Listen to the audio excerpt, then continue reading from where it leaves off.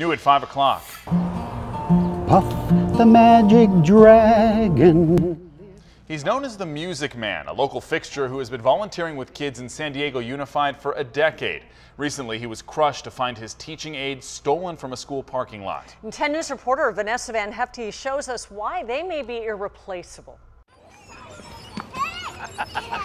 Follow the laughter at La Presa Elementary and you will find Bob Ross. Put down the ducky. The retired engineer and cancer survivor finds therapy in volunteering, sharing his boundless energy The more you read, the faster you go. the and love of music. faster you go. Don't put it off. Start today. Try to read a book a day.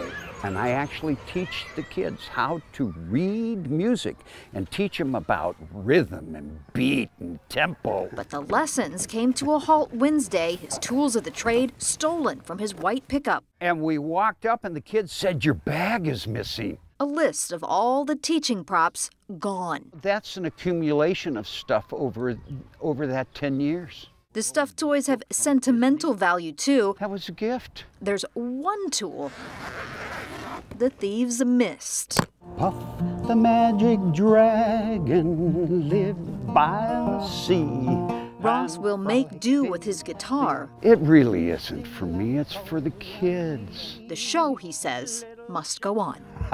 At La Presa Elementary, Vanessa Van Hefty, 10 News.